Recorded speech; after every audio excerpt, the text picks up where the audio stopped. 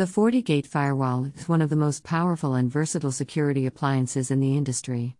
But with great power comes great responsibility. In today's interconnected world, cyber threats are constantly evolving, and protecting your network requires a multi layered approach. In this video, we'll cover some of the key steps you can take to harden your FortiGate firewall and keep your network safe. The first step in hardening your FortiGate firewall is to ensure that the device itself is properly configured. This means changing the default login credentials, disabling any unused interfaces, and applying the latest firmware updates.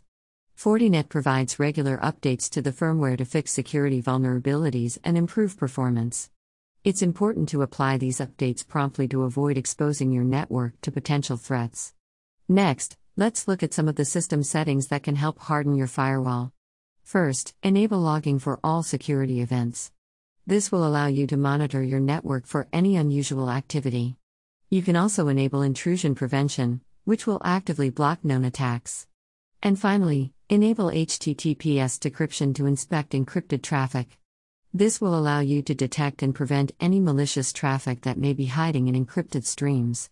One of the most powerful features of the FortiGate firewall is its ability to apply security profiles to traffic passing through the device.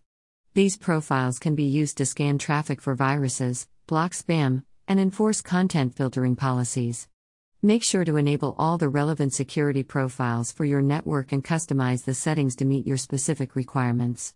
The next step in hardening your FortiGate firewall is to configure your firewall policies.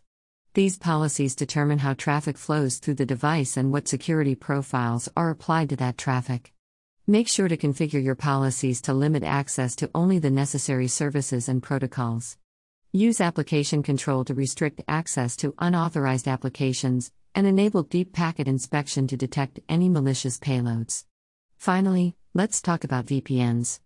A VPN can provide secure remote access to your network, but it can also be a potential security risk if not properly configured.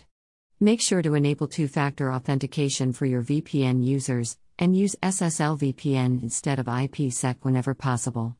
Also, make sure to limit the access of VPN users to only the necessary resources on your network.